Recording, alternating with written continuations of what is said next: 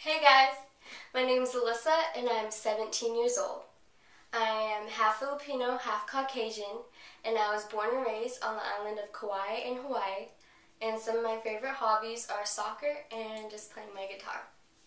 When I get home from school and my big brother refuses to fix me anything to eat, I make Totino's pizza rolls. In just 10 minutes, I can have bite-sized pizza and a crispy roll. And I don't share them with my brother. He can fend for himself.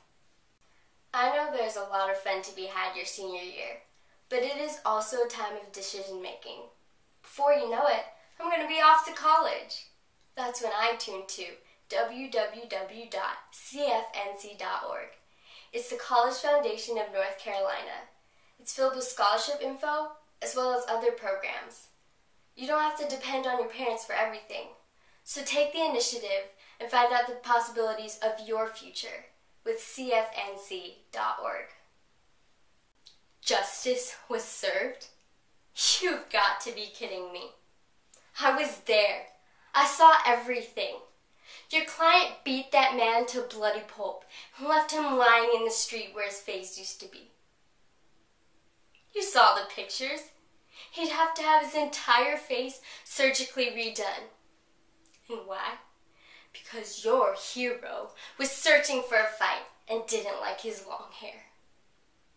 Two years of private investigators calling me, having me identify the photos. And for what? So I could sit there in that witness stand and have you twist my words into lies? You must be awfully proud of yourself. What comes lying in your head when you're lying in bed at night? Do guilt or shame ever come creeping in? I've been sitting in that stuffy office all day because I came here to tell you the truth. And I did. Now, would you tell me something?